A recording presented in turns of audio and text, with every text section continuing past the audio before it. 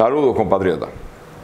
En la conferencia anterior eh, anunciamos el, el, tratamiento de la economía ya en cuestiones concretas de la, de la técnica y de la, de la ciencia eh, económica.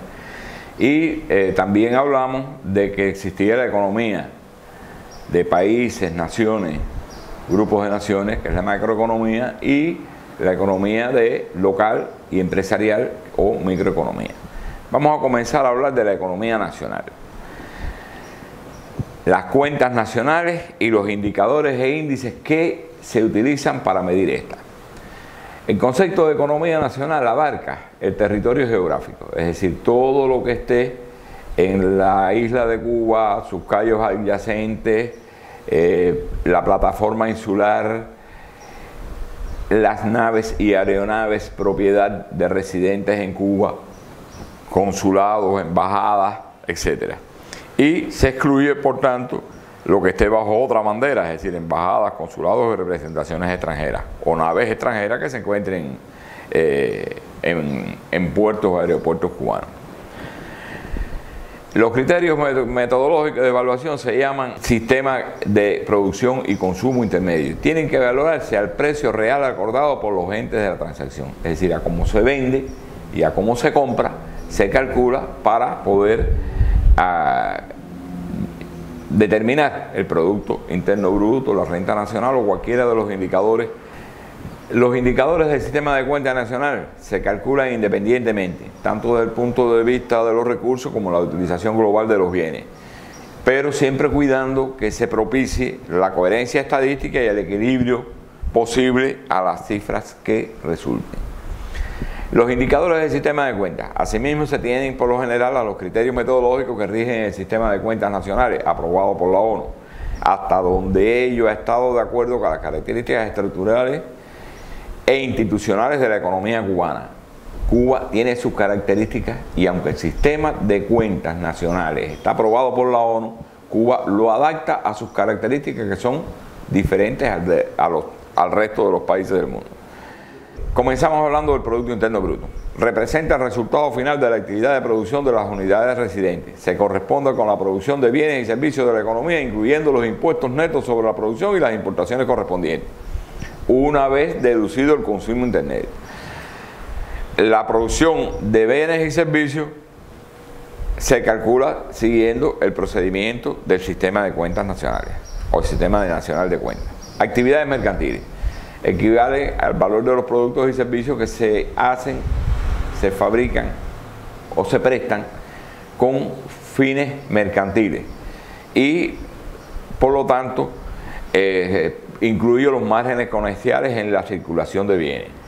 Se incluyen las actividades de las cooperativas agropecuarias, no agropecuarias, las empresas y todo aquello que, que se facture, que cree valores, incluyendo el trabajo en los hogares. Las actividades de servicios gubernamentales. Su producción se evalúa y esto está señalado en rojo en la pancarta porque es una característica muy propia del país por los costos explícitos en la prestación de servicios, o sea, según el monto de los gastos de bienes y servicios insumidos, la depreciación de los activos fijos, es decir, el total de gastos. Estas actividades están conformadas por las unidades presupuestadas tanto a nivel nacional como a nivel nacional.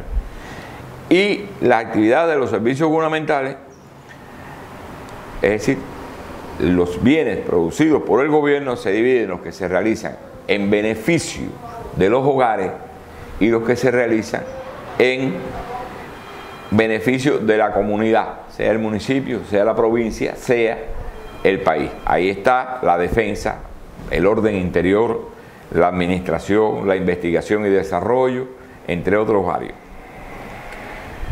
Ahora, las actividades no lucrativas.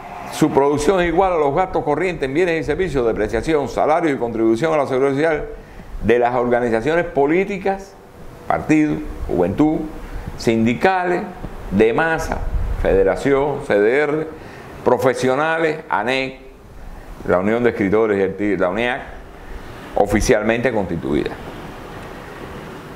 Los servicios bancarios y seguros. Los servicios bancarios, bueno, con los intereses, los eh, cobros que se hacen por comisiones, las primas de los seguros, Todo eso en el mundo entero se calcula y va el Producto Interno Bruto.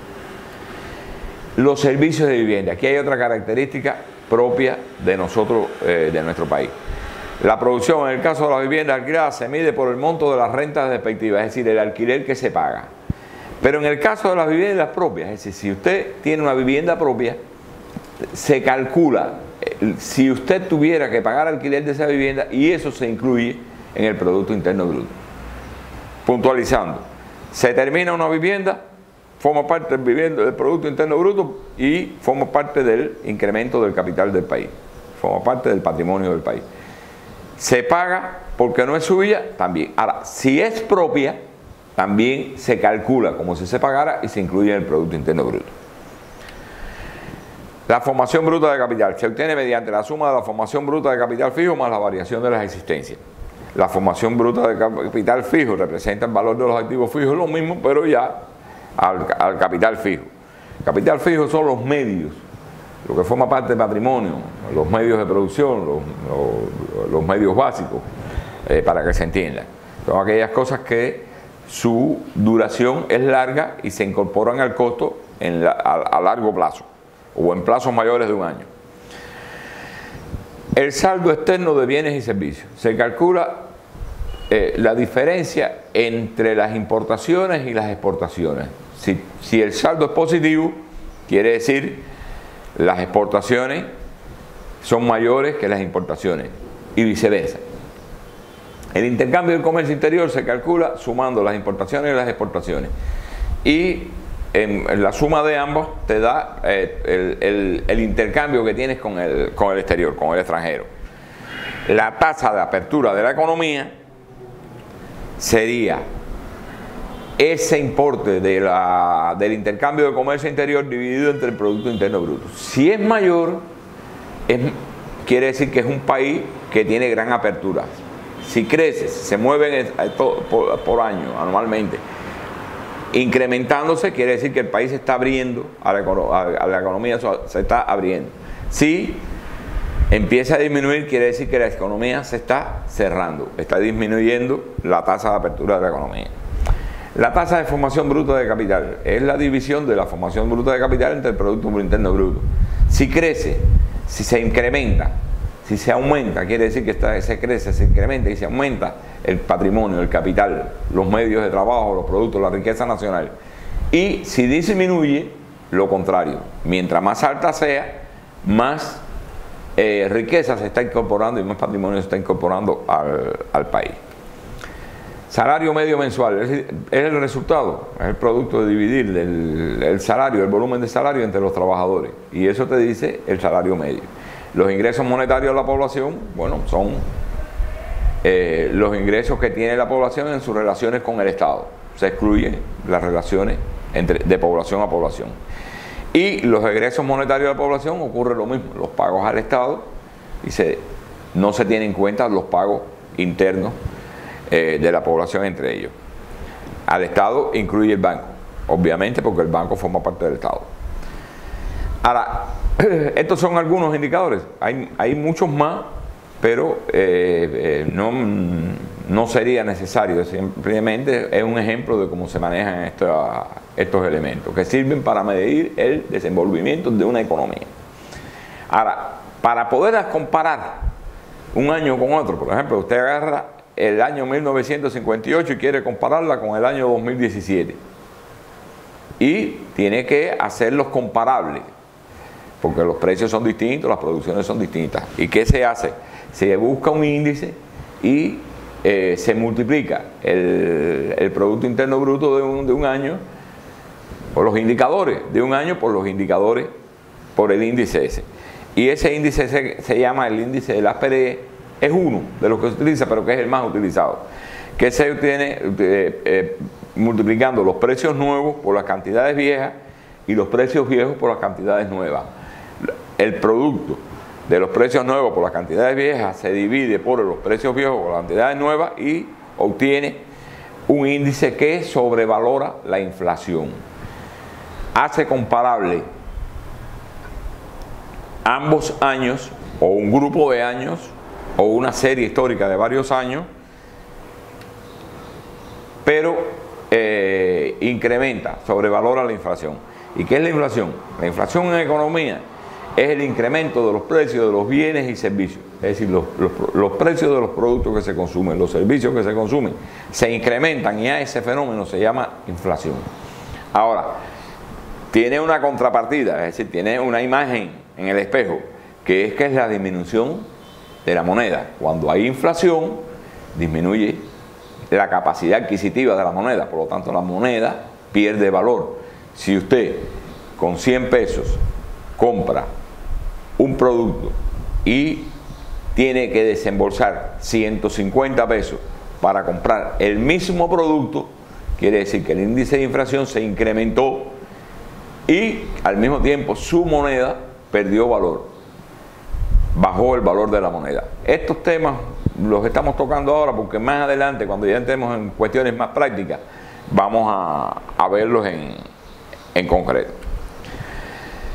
Ahora, las cuentas nacionales en nuestro país, por estos factores que hemos estado viendo, eh, tienen eh, sus problemas para hacerlos comparables con los de los otros países. Y estos cálculos están desvirtuados fundamentalmente, además de otros factores, pero fundamentalmente por la doble moneda, es decir, el hecho de que las empresas en Cuba, los bancos en Cuba y todas las personas en Cuba, al trabajar con dos monedas, y el sector estatal, al considerarlas, todas las empresas estatales y todas las entidades estatales consideran igual el valor de una moneda y de otra, eso desvirtúa porque no es lo mismo tener 25.000 CUC que tener 25.000 CUP. Y si es una empresa o una entidad que maneja divisa, pues se hace peor aún porque hace el peso cubano igual al peso estadounidense y un dólar, digo al dólar estadounidense y un dólar estadounidense no es igual a un peso cubano en cuanto a su valor. Hay una diferencia infinita. Fue igual en, en, una época, pero hoy hace mucho rato que no es, no es igual. Otro factor es la sobrevaloración de la moneda nacional, que esto que estamos hablando, acá vamos a hablar. Eso tiene múltiples consecuencias y eh, financiera, encarece las importaciones, abarata las, es mejor importar que exportar, etcétera. Eso tiene una serie de, cuestiones bastante eh, complejas. La no facturación y aceptación de los, por los usuarios de los servicios, aunque la, aunque la educación sea gratuita, aunque eh, el, paciente, el paciente reciba el servicio médico gratuitamente, eso debe facturarse y debe ser afectado, porque si no, el que presta el servicio le pone sus costos, digamos, en una farmacia usted entra y encuentra siete eh, trabajadores y hay dos despachando, bueno, pues el servicio serían los siete. Y por último, bueno, ahí tenemos un pensamiento de nuestro apóstol. En la próxima conferencia vemos o veremos aspectos relacionados con la economía empresarial o microeconomía. Hasta la vista.